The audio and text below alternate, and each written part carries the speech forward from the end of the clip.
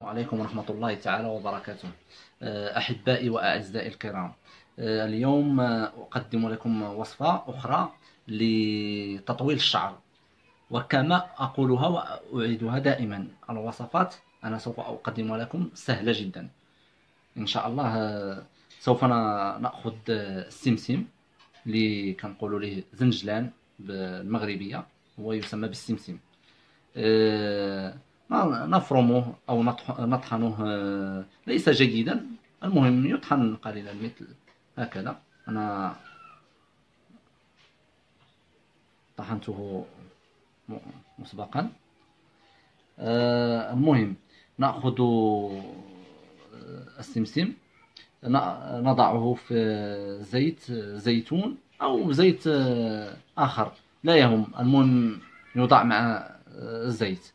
وإذا أحببتم أن تضعوه مع زيت زيتون ذلك أحسن. أه نرقده في الزيت. أه أنا استعملت الوصفة مسبقا وهي هذا الشكل. أه المهم هي تبقى في الزيت واحد وعشرون يوم. واحد وعشرون يوم. ودائما كل يوم نخلطها هكذا. كل يوم نقلبها قلبة واحدة يعني هكا. كل يوم واحد وعشرون يوم. من بعد نصفيه التصفية بشاش يعني توب أو مصفاة رقيقة. أنا سوف أريكم فقط المهم العملية هي سهلة. وربما الناس سوف يفهمون كيف تصفى. هكذا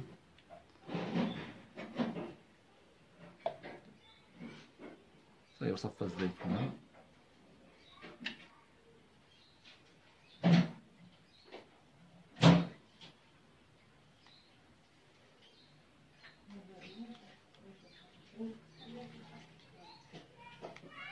المهم سوف يصبح بهذا الشكل.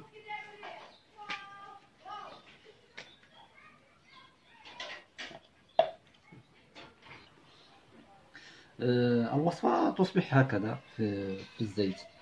آه، المهم هو استعمال من بعد الحمام أو من وراء الحمام.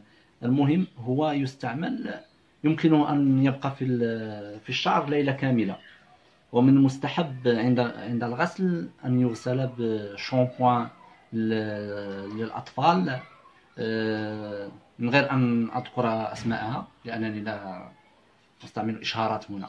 المهم آه، أنتم سوف تعرفونها هي شامبان للأطفال آه، و يعني آه، ليست فيه مواد كيماوية كثيرة. المهم والوصفة فعالة جدا لتطويل الشعر لتطويل الشعر وأذكر.